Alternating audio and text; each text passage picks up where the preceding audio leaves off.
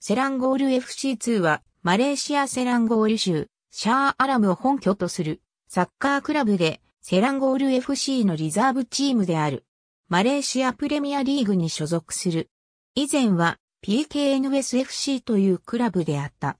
1964年、セランゴール州開発公社のスポーツレクレーションクラブとして設立された。1970年代から1980年代に成長し、州有数のクラブとして全国リーグに参加するようになった。2003年にマレーシアファムカップを制し、翌2004年に PKNSFC としてとしてプロクラブ化された。2011年にはマレーシアプレミアリーグで優勝し、マレーシアスーパーリーグに昇格した。2019年11月に FA セランゴールと合併してリザーブチーム化することがマレーシアフットボールリーグによって承認され、2020年からプレミアリーグで再出発している。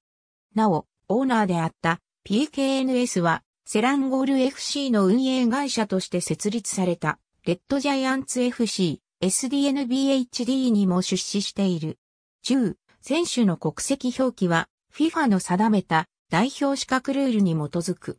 ありがとうございます。